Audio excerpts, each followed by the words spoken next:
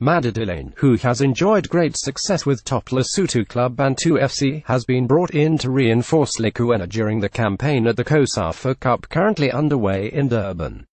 The Sutu are set to meet Botswana in the semi-finals after beating Uganda 3-2 in the quarter-finals. The Zebras beat Bafana Bafana 5-4 on penalties to set up that date for Tuesday. Madidilane is humbled by the recognition he has received from the Lesotho Football Association to be part of the national team setup. My initial plan going to Lesotho was to learn and gain experience in coaching. I ended up winning two league trophies and came second last season, Madidilane tells Kickoff.com. I feel honored to be part of the Lesotho national team. I am humbled by the recognition. I hope the experience I will get from the national team setup will help me grow to become a better coach.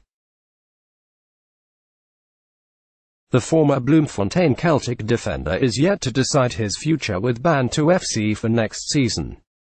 I will welcome any opportunity to come back home and coach, even if it's in the national first division, adds Madidilane, share Let's blog ads. Why?